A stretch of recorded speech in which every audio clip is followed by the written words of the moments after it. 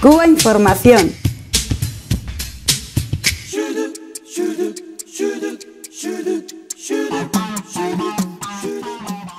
Bueno, continuamos con el programa, en este caso hablando de eh, una interesante entrevista que ha concedido el vicepresidente de Cuba, Miguel Díaz Canel, a eh, la Unión de Periodistas de Cuba, la UPEC. Y bueno, pues desde luego ha hablado, entre otras cosas, sobre el tema de los medios de comunicación en Cuba, la prensa, etcétera, etcétera. Así que voy a pasar la palabra a mis compañeros para hablar de este tema. Bueno, yo eh, de esta entrevista me quedo con una frase que dice que el secretismo en Cuba debe ser abolido. Entonces, eh, me parece que es un, es un elemento central. Hay que decir que él hace también una, yo diría, un análisis mm, eh, centrado, eh, porque, porque dice que tan, tanto mal haría ahora mismo la prensa del país en, en no, reflejar, eh, digamos, en, que se refleje todo para bien, sabiendo las contradicciones y las imperfecciones que existen en el país, como que se refleje todo para mal cuando también tiene virtudes y logros. Eh, yo me quedaría también con este segundo mensaje. Mm, es importante también lo que nos dice de que el secretismo en Cuba, que es un viejo mal de la, prensa cubana y también de determinadas instituciones cubanas, por, bueno, pues, por el miedo a que sea utilizada determinada información por parte de los enemigos que acechan a Cuba, bien conocidos por todos, eh, nos dice que se van eliminando ciertos vestigios del secretismo en instituciones y en medios, pero que de alguna manera se queda la autocensura.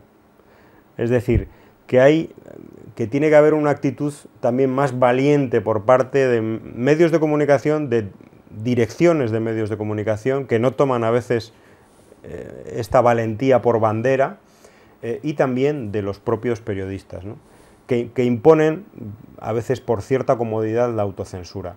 Eh, estas son algunas de las ideas que da en la, entrevista, pero lo que sí parece claro es que existe una especie de ejercicio de monitoreo permanente sobre los medios cubanos por parte de la dirección política del país y eh, que de alguna manera se está detrás de mm, impulsar, de incidir, de potenciar que poco a poco en la prensa eh, cubana se vayan introduciendo elementos más críticos, un periodismo más de investigación, un periodismo más crítico y sobre todo que, haga más transparente la realidad de Cuba con todas sus contradicciones, sin olvidar cuáles son las luces del proceso cubano que también tienen que aparecer, ¿no? porque desgraciadamente no lo, no lo va a contar otro y menos la prensa internacional.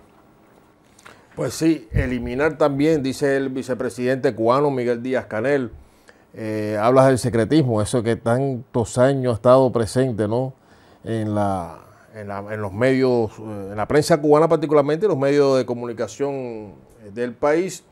Eh, hay que tener en cuenta, y lo señala él, que el, periodismo en Cuba, y los, la prensa, los medios de comunicación en general, son medios que se han desarrollado en medio de un hostigamiento, en medio de una, de una guerra, por parte de, las potencias imperialistas encabezadas por Estados Unidos. Es decir, que, eh, pero eh, a, la vez, y aún manteniéndose esa guerra mediática como estamos viendo cotidianamente, eh, hay que hacer una prensa, o sea, la prensa cubana tiene que reflejar los momentos históricos actuales y también una prensa que, que esté conectada con la fuente, que sea eh, rigurosa y eliminar todo, bueno, el secretismo en una serie de, males que han estado presentes durante mucho tiempo, como el, vacío informativo, eh, la celeridad eh, en cuanto a determinadas noticias, y estar más conectada con la realidad del país, más conectada con el pueblo, con las necesidades del pueblo, y así lograr una prensa con, un, con una mayor aumentar la, credibilidad de la prensa.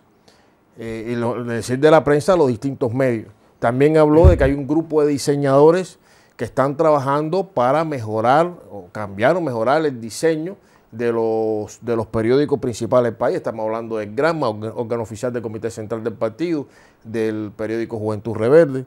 En fin, que hay todo un trabajo eh, que se está haciendo con la, desde luego, con la orientación, con la, eh, el calor de la dirección del partido a todos los niveles para eh, resolver eh, los problemas de insatisfacción de la población cubana con la prensa, que es la prensa del pueblo. Eso, yo quisiera destacar eso porque una de las cosas también, o parte de las campañas mediáticas contra Cuba, es que siempre se habla de la prensa oficial o la prensa oficialista. No, no, es la prensa del pueblo, que hay que mejorarla, sí, que tiene deficiencias, por supuesto, para eso eh, se está trabajando, para mejorar, para cambiar incluso lo que tenga que ser cambiado entre la prensa y que sea una prensa eh, que refleje las, eh, los momentos actuales del país, el quehacer en los, en los diferentes ámbitos del pueblo cubano, que sea más cercana y que el pueblo, por tanto, se identifique con la misma. Eso se está haciendo, se está trabajando eh, para que sea una, prensa eh, con... No es, no es la prensa, porque es que cuando los, una de las, campañas que se hacen, eh, la prensa derechista, la prensa burguesa, es, las campañas se hacen partiendo desde su lógica burguesa. ¿No? Muy diferente. Ya eso lo vimos en Cuba ante la revolución. Lo ellos, que ellos no son oficiales. No, ellos no son oficiales. No, ¿qué va? Entonces siempre hablan, no, la prensa eh, oficialista o la, y, lo más grosero cuando dice la prensa castrista, ¿no? Ese, eh, pero eh, somos optimistas porque, bueno, se está haciendo un trabajo serio y, por ejemplo, Díaz Canel habla que está atendiendo directamente como vicepresidente cubano eh, está atendiendo una de las tareas, de las áreas que está atendiendo es precisamente el tema de la prensa. Y eh, habla, por ejemplo, una de, la, una primera, o sea, una de, una de las primeras direcciones, o la primera dirección que debe trabajar, es que la fuente reconozca la necesidad de informar a la población como objetividad. Y que por tanto, con lo que tú lo has señalado, el secretismo se ha abolido. Eso es muy importante. Eh, abolir el secretismo. No hay motivos ya para que haya secreto de Estado en la prensa o que, o que determinados hechos, porque en definitiva el enemigo lo saca y hace campaña con ellos cuando es algo que debe estar en, la, primera fila de la información y el conocimiento de la población cubana de determinados hechos, aspectos de la vida del país. ¿no? Y una segunda dirección habla de que la prensa puede abordar todos los temas a partir de la fuente, o sea, abordar todo ¿Qué se necesita para ello? Dice Díaz Canel, pues lo que debe hacer todo periodista honesto, profesional, honrado, pues ir a la fuente, investigar, profundizar la investigación, la profundización de la misma.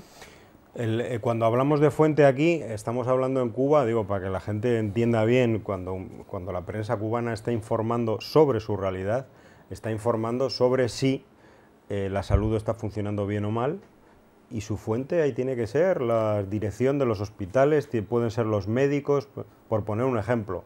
Y lo que no puede existir, y es un poco contra lo que se lucha, es que haya una cerrazón por parte de determinado hospital, determinado policlínico o determinado grupo de médicos de no informar de lo que pasa, de no dejar, de no dejar pasar al periodista, de, no poder, de que no pueda hacer su, su trabajo normal.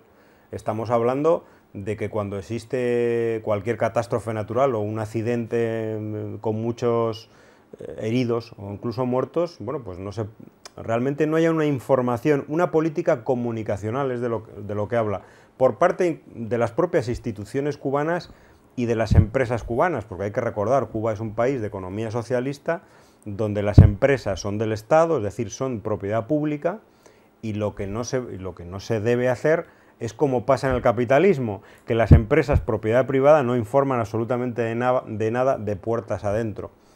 Cosa que esta comparación nunca la hacen los grandes medios de comunicación, que consideran normal que en el mundo capitalista una empresa privada tenga el derecho de no informar de lo que no le interesa, pero sin embargo le esté señalando a Cuba porque sus empresas informen o en este caso no informen.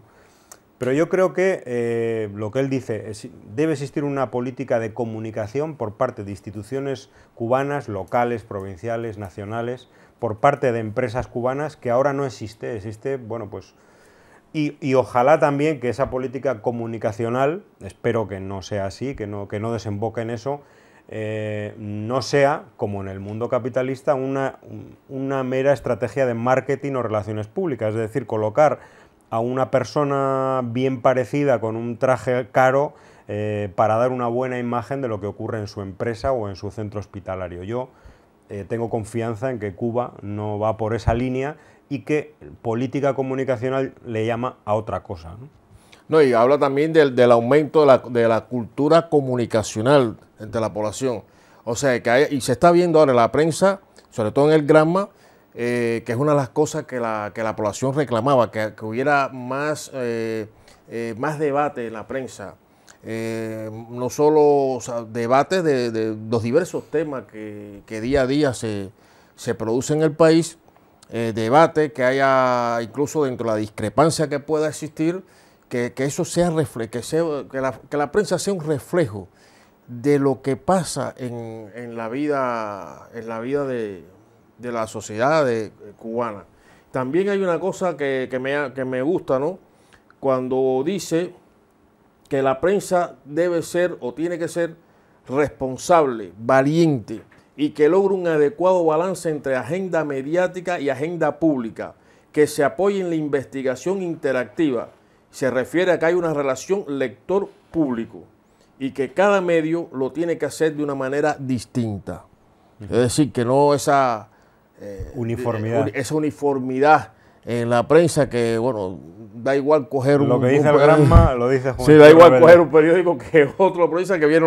No, no, no, es diferente. Yo creo que están, las líneas están bien definidas, se está desarrollando, bueno, y de hecho, él eh, eh, elogia el trabajo que está desarrollándose en la OPEC, la Unión de Periodistas de Cuba, después del, del noveno Congreso, eh, otro de los aspectos que habla es que, bueno, habla de la responsabilidad y dice, no podemos dejar de ver que somos un país en defensa, asediado, donde cualquier cosa que no es noticia en el mundo es noticia para el mundo si pasa en Cuba.